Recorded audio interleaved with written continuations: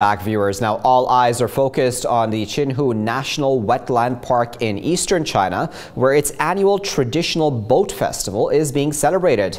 Hundreds of boating teams are participating in the boat race and other activities of that festival.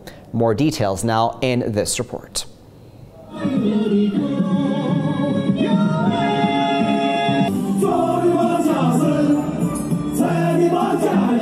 A celebration of colors, tradition, skill, and cultural pride, the Jiangsu province's Taizhou City Festival continues to dazzle its awaiting audience every year. This year, the Qintong Boat Festival attracted about 500 boats with more than 10,000 boat team members.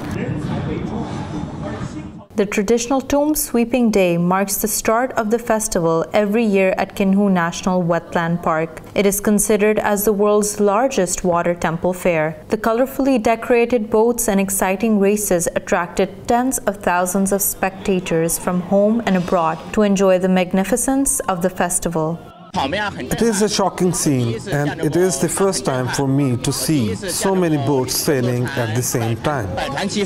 At the festival, the boat races were followed by folk performances, presenting the onlookers with beautiful waterside folk customs. It's great fun to watch so many folk performances like this. It's just so impressive to watch. To this day, the Qintong Boat Festival is considered as one of the best conserved and most ancient water festival in China.